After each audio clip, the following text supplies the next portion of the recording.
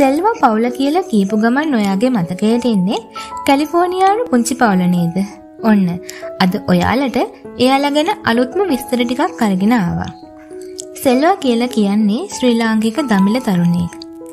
ඔහුගේ නම ජෙට් නිරංජන් සෙල්වරත්නම්. ඔහු විවාහ වුණේ කැලිෆෝනියානු ජාතික සුරුපී කාන්තාවක් වුණ අරියානා සමගයි. ජෙට් ලංකාවෙන් යන්න ප්‍රධානම හේතුව තමයි අවුරුදු ගාණක් පුරාවට ලංකාවේ තිබුණ කුරිරු යුද්ධය. යුද්ධයේ බිහිසුණු බව නිසාම ඔහු ලංකාව අත්ඇරලා කැලිෆෝනියාවට යනවා.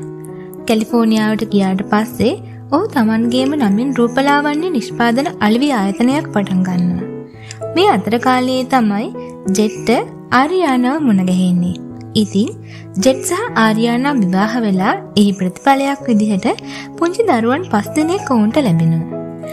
මේ අතරතුර ජෙට් තම ව්‍යාපාරය ඉහළටම දියුණු කරගන්නවා. මේ ව්‍යාපාරයේ අලවි ප්‍රවර්ධන කටයුතු සිදු කරන්නේත් ආරියානම තමයි.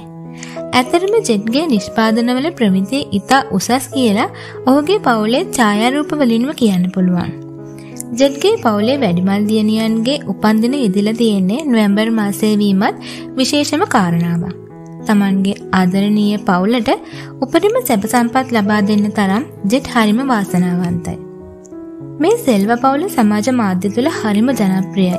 ඒකට හේතුව තමයි ඔවුන් හැකි සෑම විටම පවුලේ සියලු දෙනාම එක්වගත් ඡායාරූප සමාජ මාධ්‍යයට එකතු කරන එක. විශේෂම කාරණාව තමයි ශ්‍රී ලාංකික බොහෝ පිරිසක් ඔවුන්ගේ ඡායාරූපවලට දක්වන්නේ හරිම ආදරණීය ප්‍රතිචාර.